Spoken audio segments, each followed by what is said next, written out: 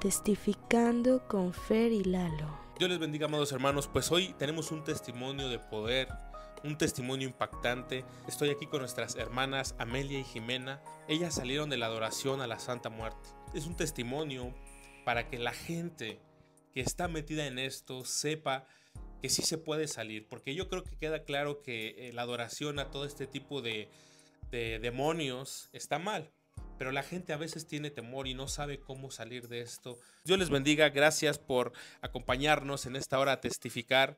Vamos a ir directo a, las preguntas. ¿Ustedes eran simplemente simpatizantes de la adoración a la muerte? ¿Solamente creían? ¿O ya de alguna forma lo practicaban de una manera más de lleno? Este, mira, sí, ya como dices tú, lo practicábamos mi esposo, yo y, pues mi familia completa. Entonces, este, pues sí, éramos rendidores a ella, eh, trabajábamos para ella y con ella. ¿Cuántos años duraron uh, sirviéndole? 28. Mm, 28 años. 28 años para, ahora sí que trabajando hacia ella.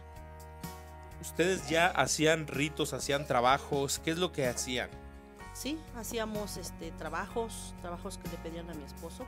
Él, era el que hacía los trabajos, yo era la, que le ayudaba, él era el que pedía las cosas, yo ayudaba a, este, a él. Hay una duda que me surge y es que muchas veces la gente dice que no es malo tener una fe, ¿no? Creas en lo que creas, supuestamente le dicen a uno, no es malo, ¿no? Pero yo quiero saber, ustedes que le servían, que le adoraban, estaban conscientemente de que era algo malo o también tenían la creencia de que ustedes estaban haciendo el bien y que era algo bueno? Yo en mi caso, por ejemplo, a principios era este inconsciente que lo que yo hacía no era malo, pero a fin de cuenta, conforme fueron pasando los años, conforme yo fui apoyando a mi marido a lo que él hacía, a lo que a él le pedían, yo ya sabía que era malo. ¿Y tú, Jimena, qué, qué, pensabas o qué, qué es lo que tú recuerdas que te habían dicho? ¿Que era malo, que era bueno? Dios les bendiga, hermanos. Este, sí, yo, mi papá me decía, ustedes tienen que servirle porque yo les sirvo a ella. Entonces, como tal, mi generación, porque eso nos decía, ustedes, que son los que siguen, los sucesores, tienen que hacerse responsable de ella. Sí, nos dijo desde un principio, esto es malo, pero pues nos da de comer. Esto es malo, pero de aquí tenemos. Entonces sí, sí nos dijo, lo que estamos haciendo está mal y no se debe de hacer. Sí nos advirtió que hay muchísimas cosas que, porque a nosotros nos decía, es que ustedes son unas niñas tontas, que nada más quieren pedir, pero no quieren recibir lo que pues es ahora sí que el ataque que da, que teníamos que pedirle a la muerte, nos decía, tienen que ahora sí que soportar o tolerar cuando ella venga y quiera reclamar porque no le diste lo que prometiste. Para ella prometer era cumplir, porque si no se cumplía, entonces el castigo era severo que podía desquitarse con un familiar llevándoselo, porque así nos decía mi papá. Pues para los que nos están viendo y tienen esa duda, o la gente que nos va a ver que es solamente simpatizante, que a lo mejor se está metiendo, no nos digas que es bueno, no vengas a decir que es bueno, porque ellas lo practicaron por 28 años, eh, principalmente nuestra hermana Amelia. Entonces cuéntenos, hermana Amelia, esta entidad, la muerte, se manifestaba, ustedes la podían ver, venía ese espíritu o tomaba el cuerpo de alguno de ustedes. El jefe de la familia en este aspecto adoraba a la muerte, era mi marido. Entonces la muerte a través de mi marido como que se poseía, llegaba el espíritu y se le metía. Lo podíamos, bueno, yo en mi caso que yo fui la persona que convivió más tiempo con él para ayudar, puedo reconocer que se le metía la muerte porque cambiaba él en el aspecto de que estaba frío, su forma de hablar, su forma de sentarse, porque se estaba sentado cuando hacía sus rituales. Y muchas veces yo me identificaba con ella, yo ya sabía que era ella porque se sentía el ambiente aquí frío. Él le cambiaban los ojos de color y yo le decía ¿qué tienes? Y me decía, tú sabes quién soy. Le cambiaba la voz y él, ella me decía que, o sea, que yo ya sabía que era ella a través de él, porque le cambiaban los ojos de gris a naranja y me decía que, incluso él me decía, pide, pide que se te cumplirá, o sea, para mí misma yo le decía que yo no quería nada, que yo solamente era, este, pues, su ayudante en ese, en ese momento a mi marido. Yo hacía lo que él me decía. Yo parada junto de él, le empezaba así como a retorcerse y se paraba firme y me hablaba que, que sus huesos le tronaban, y hacía así, cosas así raras, ¿no? Y, y decía que sus alas, que sus alas y, la- y ella decía que su cuerpo que era diferente de donde ella venía, el lugar de donde ella venía estaba frío y que ese cuerpo estaba muy cálido, que le gustaba estar en ese cuerpo que era de mi marido.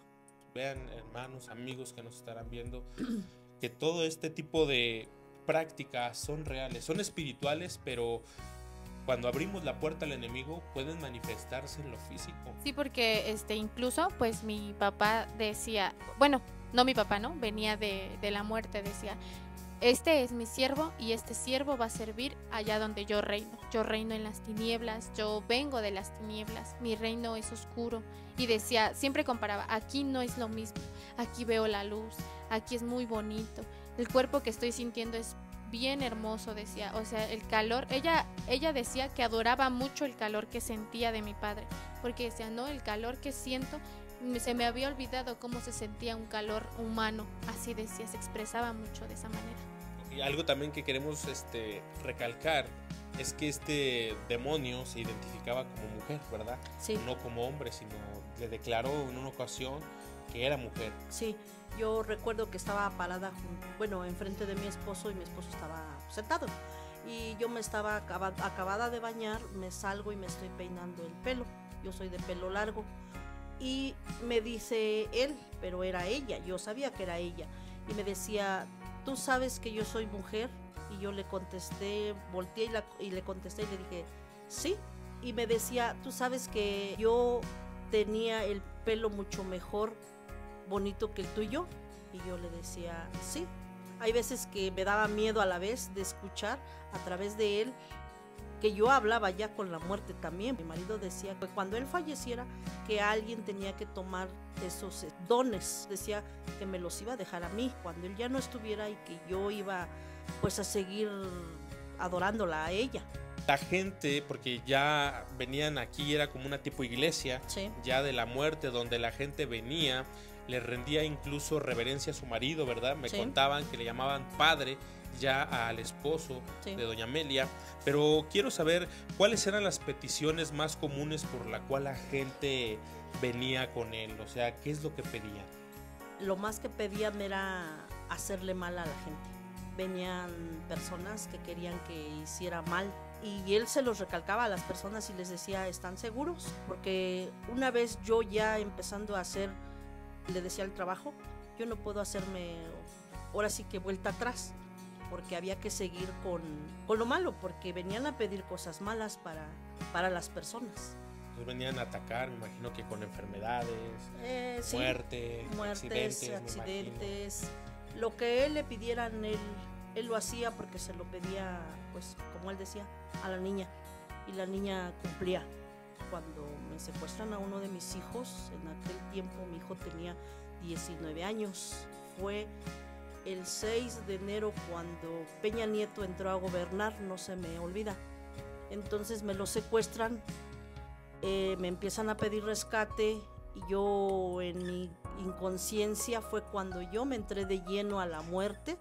Dije, yo voy a, a rendirte a ti, porque esta persona me hablaba por teléfono y nos decía que si nosotros no hacíamos caso de lo que él nos estaba pidiendo, iba a mandar en pedazos a mi hijo. Fue cuando yo me, me arrodillo y le pido a todos los santos y en especial en ella y le dije que yo quería ver a mi hijo, como quisieran mandármelo porque me decían que me lo iban a mandar en pedazos. Yo le decía, mándanmelo como quieran, pero yo hablaba con la muerte. Quiero verlo vivo o muerto, pero yo quiero verlo. Fue cuando dije, yo como les repito, yo soy de pelo largo. En ese momento yo recuerdo que tenía el pelo hasta las caderas. Y en ese momento yo le, le brindo le ofrendo mi, mi cabellera con tal de que yo viera a mi hijo. Me corto el pelo y se lo doy. Le dije, aquí está mi pelo porque yo quiero ver a mi hijo. cuando yo trabaje y tengo un buen trabajo como mujer, porque yo sé que tú eres una mujer, le decía, te voy a traer rosas. A mí me encantan las rosas. Y fue como una como Intercambio. un intercambio. Yo le decía, quiero ver que tú me estés respondiendo de los favores que yo te estoy pidiendo. Y ella me decía, a través de mi esposo, platicaba y me decía, sí, tú te vas a dar cuenta en las rosas. Y yo le decía, ¿cómo? Decía, cuando yo esté contigo, las rosas van a durarte 15 días. Y no les miento, mis rosas me duraban 15 días, bien bonitas las rosas. Y me decía, cuando yo ya no esté contigo, tus rosas se van a secar. Y así pasó.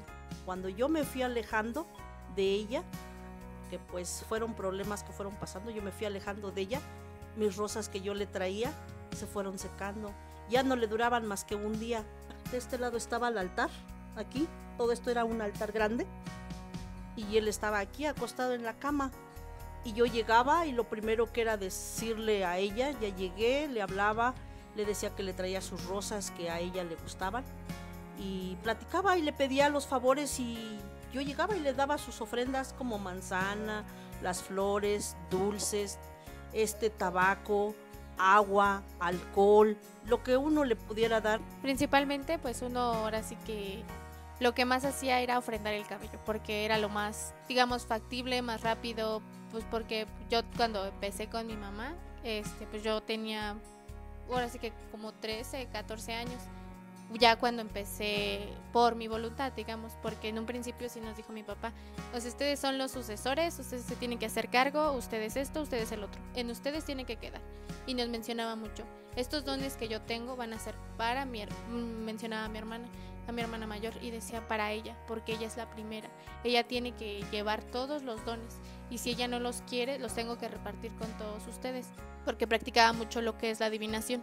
El mundo espiritual sí existe, sí existe lo malo, sí existe Dios y pues sí yo lo vi principalmente con mi hermana, porque ella hizo muchas cosas que, que a la muerte le agradaba. O sea, si la muerte decía párate de cabeza, ella se paraba de cabeza. Era muy... Ella era todavía más allegada a la muerte que nosotras. Ella trabajó muchísimo más que nosotras. Me gustaría también que nos contaran un poco de lo que hacían. Cuando alguien venía a consulta, ¿de qué manera trabajaba? Bueno, él les hacía, digamos, una lista de varias cosas, incluyendo ramos, tabaco, alcohol. Y él aquí en botellas diferentes tenía, pues no sé qué preparaba, ¿verdad? Solamente él pedía, cómprame esto, cómprame el otro, y él preparaba todo eso. Y venían, pues, para pedir cosas malas, pues ya les pedía lo que eran veladoras, velas, fotos, prendas. Hubo un trabajo que se hizo a distancia y en ese intercedimos casi todos, me parece, porque pues eh, la persona me dice a mí y yo le comento a mi papá y le digo, pues pasa esto, pasa esto y pasa esto. Y él me dijo, pues dile que si quiere eso, tiene que hacer esto y esto y esto. O sea, pero él, ahora sí que a la distancia, consul- consultando, él decía todo eso. Yo le comentaba a la muchacha y le pasaba el teléfono a mi papá y decía, no, pues esto, esto y esto y esto. Y la muchacha pues lloraba. Decía, es que cómo es posible, usted está allá, no puedo creerlo, este, son cosas que nadie sabe. Y así, o sea, infinidad de cosas que, que uno decía en un principio, yo principalmente era escéptica de decir, no, este, pues sí, sí, mi papá trabaja, sí hace, pero como que no. Pero poco a poco el ver eso que, que ahora sí que él hablaba y todo lo que hablaba era real, era verdad, pues a mí me fue atrayendo a ese camino. Inconscientemente yo participaba ya con él en hacer este, él hacía mucho pulseras que eran, decía él, eran amuletos de suerte que hacían que las personas pues no les pasara nada, que estuvieran bien, que tuvieran amor, porque principalmente venían casi por lo regular, aparte de los trabajos de, de magia negra, se le dice, venían por magia blanca, que es lo, este, para que te vaya bien, los negocios, el amor, eh, todo eso. Él pues pedía ahora sí que las ciertas cosas y esas ciertas cosas pues tenían que venir siempre acompañadas de una veladora, porque era lo más básico prenderle la veladora para que él decía que les prendía cuando trabajaba de magia negra, pedía las veladoras negras y decía que esa luz era para atraer la alma de las personas que traían a ese altar. Ah, ahora sí que lo que se estaba ofrendando. Mucho tiempo estuvo él trabajando así a distancia. Una vez comentó que esos dones que él tenía se los pasaron porque él no sabía y esos dones que le pasaron dice que los, los no los pudo sacar porque él, él no sabía hasta el momento en el que le dijeron trabajaron contigo y tú tienes esto y esto. Entonces inconscientemente él tuvo los dones porque en un principio mi abuelita por parte de mi papá, su mamá, lo ofrendó porque había fallecido, o sea, estaba inconsciente. Y él, mi abuelita dijo, si tú me lo dejas vivir, si tú me dejas que es que mi hijo esté sano, que, que siga siendo un niño normal, él lo voy a hacer para que te sirva a ti. Y así fue hasta el casi el último momento, no desistió de ahí, pero siempre renegó. Cuando pasó lo de su accidente, de lo de su pierna, pues sí dijo, no entiendo cómo, cómo dejaste, porque él se paraba ahí en la cama y decía, no entiendo cómo dejaste que pasara, por qué dejaste que me quitara la pierna.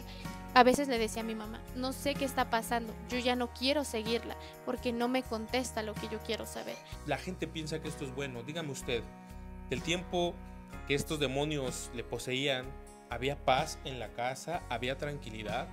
O llegaron a tentar algunas veces contra su vida. El mes de Día de Muertos era cuando más, digamos, lo atacaban los espíritus malos. A través de él venían en las noches, hasta me decía, gorda, yo no voy a poder dormir este, el Día de Muertos. Me decía, prepárate porque van a venir a, a visitarte, me decía. Y sí, llegaban varios muertos, varias personas que nosotros conocimos igual, este, y hablaban conmigo, y decían que eran pues mis vecinos, que eran conocidos y gente así que, que se le metía, que nosotros fuimos este, conociendo a través del tiempo, eh, que ya fallecieron y se le metían a él. Y sí, una vez este, él me quiso atacar, eh, pero yo sabía que no era él, era pues no sé si era la muerte o era el diablo pero él me quiso atacar, a tomarme a la fuerza, me quiso agarrar y yo grité y le dije, suéltame porque voy a gritar más fuerte para que se despierten mis hijos.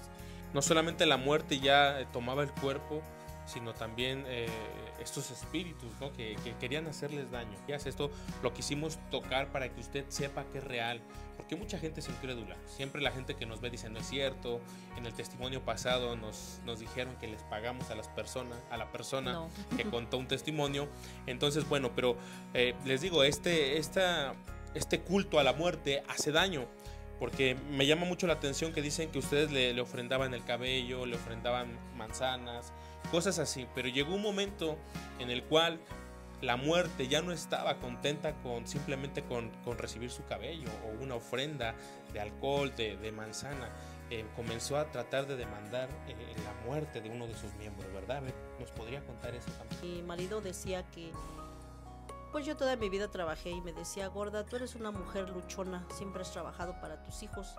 Yo me voy a morir y ya no vas a trabajar, me decía yo le decía, ¿por qué? Dice, porque yo ya este, hice un pacto con el diablo. Para él el diablo era Sabet. Y, y, le y me dijo que él había pactado a mi nieto, que se llama Dailen, que a cambio de, de Dailen, que era un bebé en ese tiempo, que era puro, para el diablo, el diablo le iba a dejar este dinero. Y yo le dije, no lo hagas puedes hacer así que trabajos los que tú quieras, pero en la familia no lo hagas. Pero él me decía que, que tenía que dar a cambio de todo lo que él había hecho y recibido de la muerte, él tenía que ofrendar a alguien de su familia, porque eso ya lo había este, pactado con el diablo y con la muerte. Y en este caso era mi, mi nieto, el más pequeño. Qué cosas tan tremendas. Entonces, si tú estás pensando meterte a la adoración a la Santa Muerte, como le llaman, no lo hagas. ¿sí?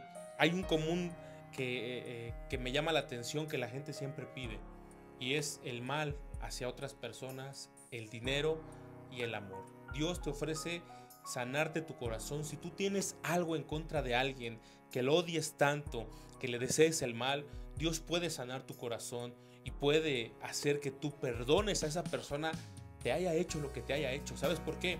Porque dice la Biblia que nadie, nadie en esta tierra somos buenos. Y así como nos han dañado y así como nos han lastimado, nosotros le hemos fallado a nuestros seres queridos, a algún amigo, siempre fallamos. Y Dios también nos da perdón. Otra cosa que ofrece el Señor es que te rinda lo poco que tú tengas o lo mucho que tú tengas. Dios bendice, Dios provee. Y eso es algo que el mundo no entiende y tienen esa necesidad. Siempre la gente está en busca de amor, tienen ese deseo de ser amados, de amar y de ser amados. Sabes que ese amor te lo puede dar Dios. Busca a Dios porque de verdad uno experimenta el verdadero amor cuando te acercas al Señor. Que son tantas cosas quizás que tenga que contar, pero también queremos darle la gloria a Dios. Ya, ya sabemos lo feo de, de estar en esta religión, en esta secta, pero ahora queremos darle la gloria a Dios. ¿Cómo es que se acercan al Evangelio? Después de adorar a la muerte, yo he escuchado rumores de la gente que la adora, que es muy difícil salir. Para ustedes, conociendo de Dios, ¿Cómo vivieron esta experiencia? En mi caso, la, que me llevó, digamos, dirección a Dios fue mi hija, la más grande, porque ella fue la que eh, ya no aguantaba la carga de estar con lo malo. Va y pide ayuda con una persona y la persona nos, pues nos lleva con Dios. mi hija me dice, mamá, tienes que ir a adorar a Dios, a Jesús, al Espíritu Santo yo no me negué, fui luego, luego porque yo ya sentía la necesidad de estar con Dios, de buscar, porque ella venía y nos explicaba y nos platicaba cómo era estar con Dios.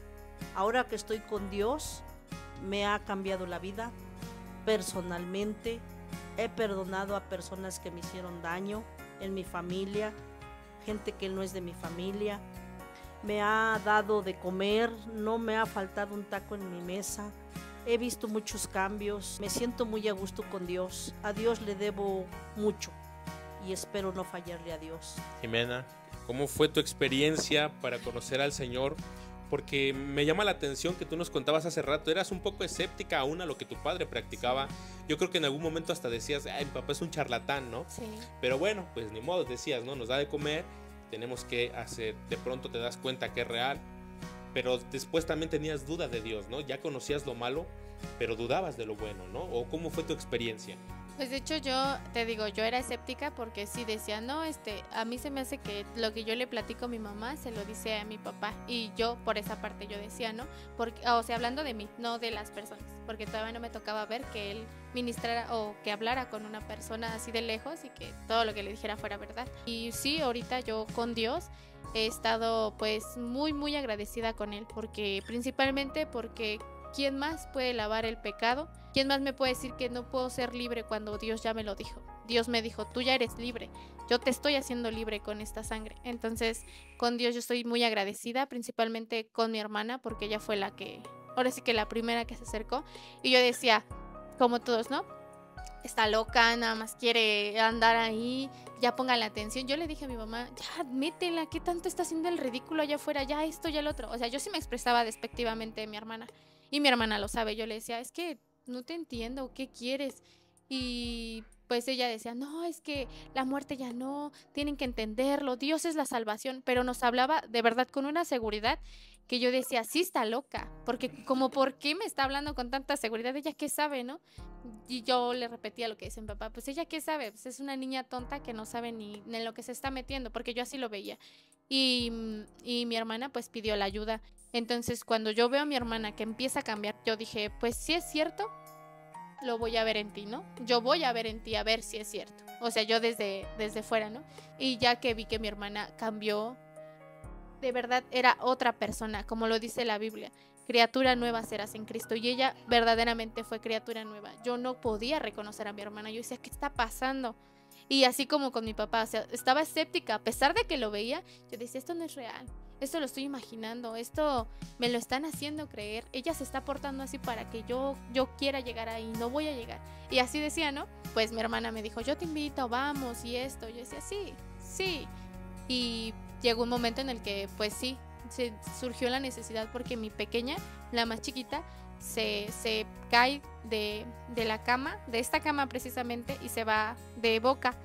se abre el labio, se lastima el frenillo y sangra y pues estaba mal y yo le dije a tu papá, le, comenté, oiga, hágame el favor, por favor, de llevarme al, al hospital porque pues está mal mi niña, esto y el otro. Y mi hermana me dijo, deja que oren por ti, pero así, o sea, de verdad me... me Una me- fe, ¿no? Una Sí, fe. y esa fe a- ahorita ya la entiendo, ¿no? Y me decía, es que deja que oren por ti, él lo va a sanar, él la va a sanar de verdad, o sea, pero segura, segura. Yo decía, ándale, pues ya. Y este, oraron por la pequeña. Ante- Antes que, que- que nos sigas contando, hay algo que se nos olvidó para hacer esta gran diferencia, para que se note la gran diferencia. Recuerdo que me contaron que cuando la muerte poseía el cuerpo de tu padre, esta atmósfera cambiaba, este cuarto cambiaba. Eh, quizás estaba cálido, estaba templado y cambiaba a un ambiente frío, ¿verdad? Sí. se ponía muy frío, incluso cuando él hablaba parecía como si estuvieran en un congelador, ¿no? Que salía vapor de su boca de lo frío. Sí, de hecho, pues cuando él estaba ahora sí que sentado y empezando, porque uno ya sabía, empezaba a hacerse así y empezaba a temblar todo y así, así, así.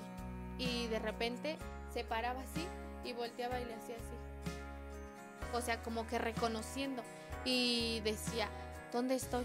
Y ya le decía mamá, este, estás aquí, Hugo, esto, el otro decía, yo no soy Hugo, suéltame. Pero era cuando ya se presentaban las personas y en cuanto se sentía, o sea, se veía eso, se sentía de donde él estaba, se sentía frío hacia afuera, como si fuera una puerta, como si fuera una puerta que estaba abierta, entraba ese frío y se subía y empezaba uno a escucharlo y empezaba uno a temblar, así.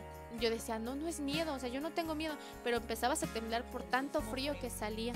Ok, eso es- era muy importante este, hacerlo notorio por lo que nos va a seguir contando nuestra hermana Jimena, que se acerca a Dios, llega entonces, a, acepta la ayuda. ¿Y qué pasó Jimena?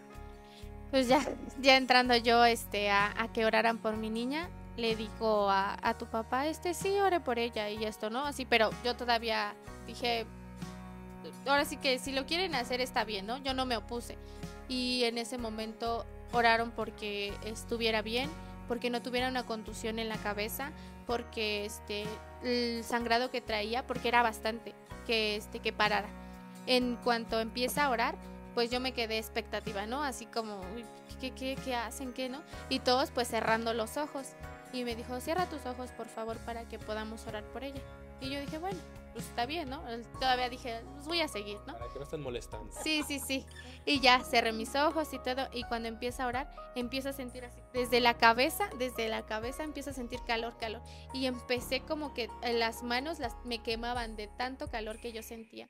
Y mi niña pues lloraba, o sea, hacía esto de que pues se sentía mal, le dolía. Y en cuanto terminó de orar, se enderezó, volteó a ver a todos y estaba risa y risa. Se le quitó por completo fuimos al hospital y me dijeron yo no la puedo este, suturar porque principalmente se le lastima el labio y no queda igual. Desde aquí ya se le había parado el sangrado. Desde aquí se le quitó todo lo que ella traía. Ese dolor que sentía porque te repito, hacía esto. Y, y de repente, o sea, nada más se enderezó, me vio, se acomodó y, y no, normal, como si no le hubiera pasado nada. Y después, pues ahora sí que yo dije, pues está bien, ¿no?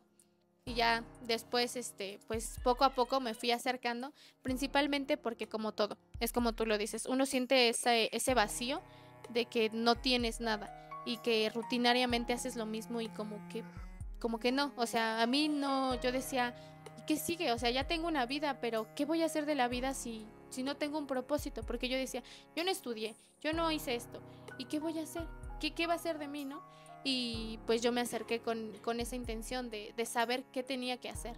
Entonces pues me acerco a la iglesia y pues sí, cambió todo, todo. Tam- también hay otra cosa que me gustaría que nos contaras, ¿verdad? Eh, obviamente, como insistimos, esto, esto es malo lo que ellos estuvieron practicando. Comenzó a haber consecuencias también en tu hija, en una de tus hijas, ¿verdad? La, la pequeña fue la que se lastimó por la que oramos, Sí. pero en la, en la otra, en la que es más grandecita, Jimenita también se Sí. llama, este, ella también ya comenzaba a ver cosas, ¿no? Sí. La comenzaban a, a- a atormentar, ¿no? Cuéntanos, ¿cómo fue esa Sí, de experiencia? hecho, antes de que pasara eso de, de que mi papá falleciera, ella siempre me decía, es que hay alguien ahí. Y pues mi cuarto, a mí me gusta dormir a, oscuras porque no me gusta la luz, ¿no? Para dormir. Y yo le decía, ah, vamos a apagar todas las luces. Y siempre desde pequeña yo la acostumbré a apagar las luces. Y ella me decía, prende la luz, mamá, es que me están viendo. Y yo le decía, no, mami, no pasa nada. Y decía, no, es que ahí está mi abuelito. Y luego me decía, es que ahí está una persona. Y yo pues ahora sí que decía, ¿dónde? No, no veo nada. Y prendía la luz y todo. Ya se dormía la niña y yo apagaba la luz. Y después que fallece mi papá y se derriban los altares, antes de que todavía se derribaran los altares, ella me decía, es que me están viendo, por ahí me están viendo, mira cómo me está viendo, mira ese monstruo, porque ella le decía que era un monstruo. Y yo le decía, es que no pasa nada. Y ahí medio yo sabía un poco de, de estar con Dios. Yo le decía, Dios nos va a cuidar. Pero, o sea, todavía como que incrédula, ¿no? Porque decía, sí, Dios nos cuida, ¿no?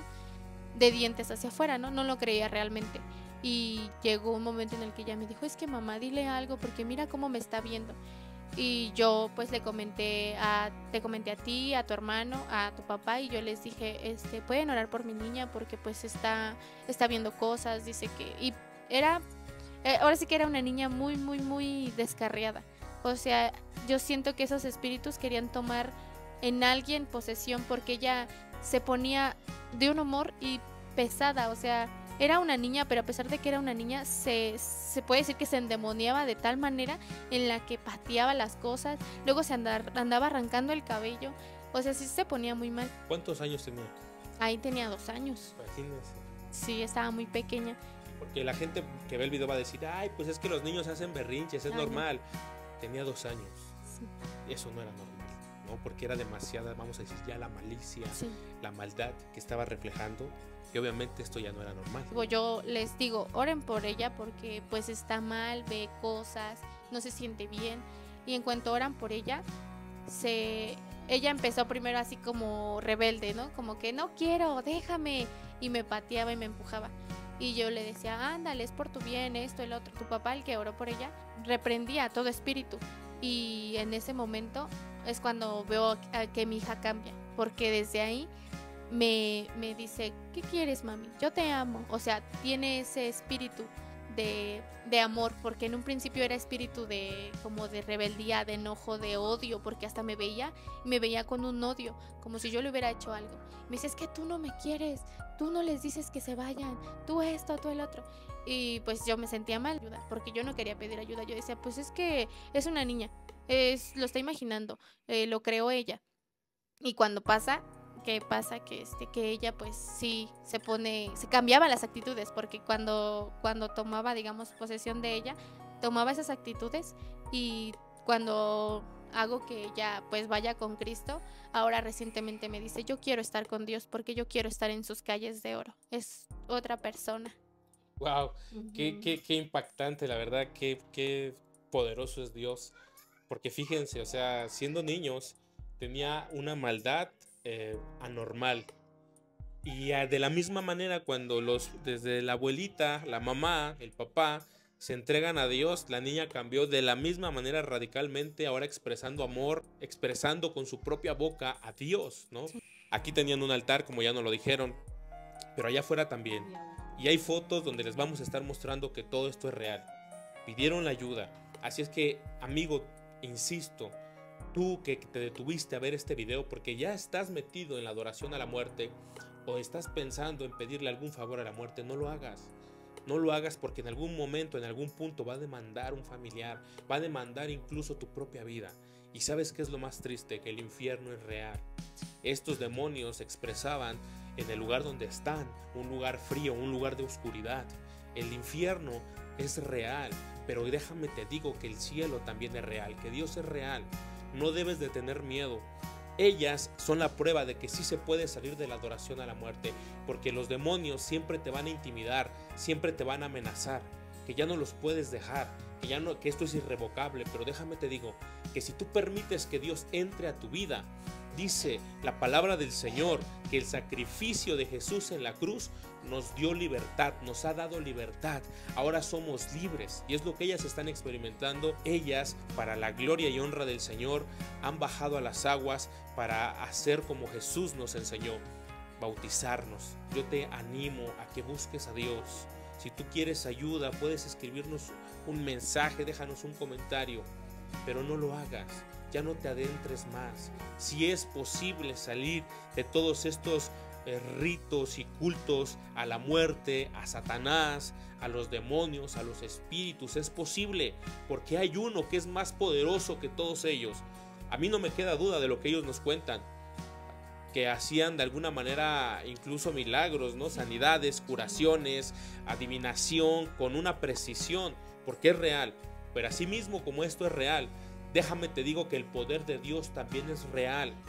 Tú que dices, yo no tengo perdón, yo ya no tengo eh, eh, salvación, Dios te puede salvar, Dios te quiere perdonar, Dios te está esperando con los brazos abiertos. Así es que busca a Dios, busca a Dios, nada va a llenar tu vacío. Esa necesidad de amor que sientes, solamente Dios la puede llenar. Esa economía que estás buscando, solamente Dios puede proveer. Y esas ganas de venganza que tienes, Dios las puede quitar y te puede dar en tu corazón sanidad de tal manera que puedas amar aún a tus enemigos, de tal manera que puedas perdonar aún a aquellos que te han hecho mal. Porque si tú perdonas, dice la palabra del Señor, que Dios te va a perdonar. Pero si tú en tu corazón sigues teniendo rencor, Dios no te puede perdonar si tú no perdonas a todos aquellos que te han ofendido. Así es que este testimonio es para la gloria del Señor. Muchas gracias. Yo quiero ahora sí que invitarlos, incitarlos a que sí vayan a Dios, porque les repito, yo era incrédula, yo decía esto no es verdad, esto no puede ser posible, principalmente porque las creencias que yo traía eran, o sea, no existe alguien más que la muerte. Y hoy puedo decirles con toda la seguridad del mundo que ustedes pueden salir de ahí, que sí se puede, que sí debemos hacerlo, porque Dios nos dijo eso. Yo soy la verdad y el camino. Y así es.